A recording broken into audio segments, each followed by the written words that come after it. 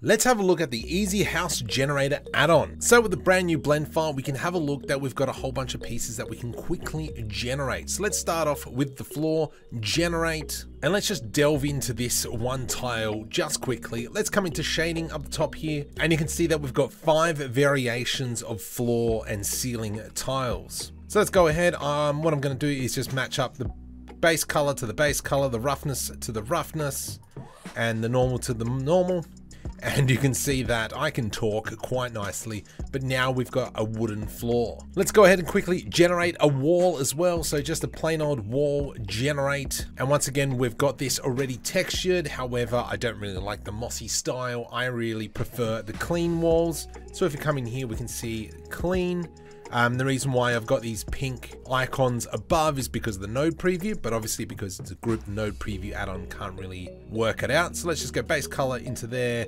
roughness into there, normal down here, and height. There we go. And now we've got a clean wall. Now I'm going to do that for the secondary material as well.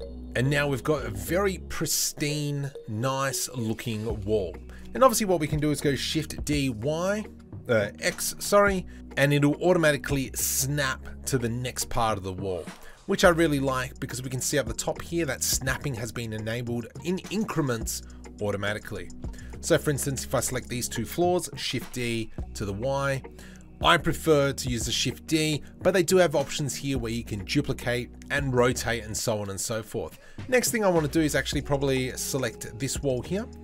Let's go ahead and generate our door and we'll click generate and that brings that into this file. Let's go ahead and move that out a little bit. We can rotate that by 90 degrees.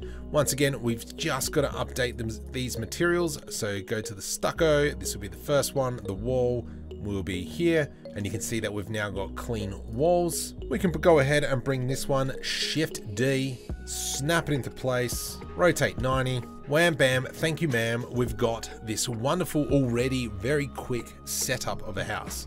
Then we can obviously duplicate these walls, shift D to duplicate Z, and then it'll snap up to the roof, and now we've got roofing as well. Now there's still quite a few other parts here. We've got windows, we've got archways, we've got a staircase, and we've also got half walls. So using this add-on, we can very quickly build up a house. There is a link in the description, go try it out. And if there's any other add-ons you want me to check out,